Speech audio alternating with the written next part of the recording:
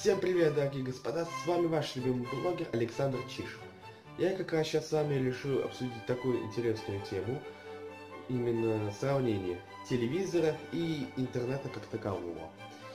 Ну, у меня однозначного ответа на этот вопрос точно нету, потому что тут везде плюсы есть и минусы есть свои, и тут везде есть свои плюсы и минусы, поэтому тут трудно что-либо сказать, но скажу так, что именно, что вот именно в плане контента, именно сам по себе именно, в этом плане, что тут, что там, в этом плане, везде, по сути, ну, фактически одно и то же, потому что по телевизору бывает именно много вот этих вот шлаковых там телешоу, такие как модный приговор, давай поженимся, пусть говорят вот это вот все вот это, всякие прочие там бредни такого рода.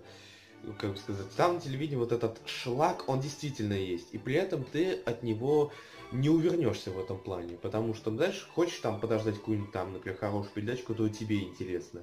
А тебе придется ждать, когда вот этот вот шлак пройдет, вот этот шлак, вот этот вот. Ну а хороший фильм или что-то показывают по телевизору лишь только где-то ночью. В основном было такое. Когда я смотрел, было ночью в этом плане. Вот. И поэтому как бы вот эта вот шлаковая информация, она там именно задерживается в этом плане. И что, ну, в этом плане мало выбора. Но вот на ютубе тоже, конечно, такой же шлак есть, там, например, как вот именно там летсплей, всякие прочие там эти как челленджи, или как там Саша Спилберг купалась в чипсах. Да, есть, конечно, такое, согласен. Но в этом плане на ютубе есть преимущество, очень важное преимущество, там больше права выбора. Вот. Я не спорю, на телевизоре там, конечно, тоже есть хорошие каналы, да, я согласен в этом плане, да, но их, к сожалению, мало. Ну, если только там какой-нибудь счастливцы есть, например, именно там именно какое-то там именно особое подключение, там, например, где там по много каналов, где там можно даже переключать на нормальные там каналы с западными фильмами там или там музыкальные. Но это только лишь счастливцев есть. Но в целом именно а в целом в основном пользуются тем, что есть в этом плане. Ну а на ютубе в этом плане, там, как говорю, больше вот права выбора, и ты можешь выбирать какую угодно информацию в этом плане. Можешь выбирать, какую тебе нравится, да. И тебя никто не обязывает смотреть именно купающийся в чипсах Сашу Спилберг, тебя никто не обязывает. Ты можешь сам выбирать, что хочешь в этом плане. Тут именно право выбора.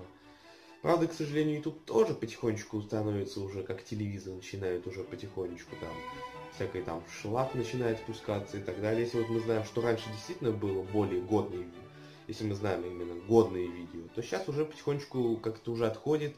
Если мы еще знаем, что детские каналы на ютубе возвращаются, что, по сути говоря, именно... Да, но хотя бы у тебя есть право выбора, и ты можешь записать. И даже не то, что даже ты э, можешь даже смотреть этот YouTube, и ты еще даже можешь и создавать свой именно канал можешь создавать и выкладывать свои мысли и идеи, что это, по сути говоря, очень здорово в этом плане, как сказать, и в этом плане. Ну, что касается, в последнее время сейчас на ютубе тоже много рекламы идет в этом плане.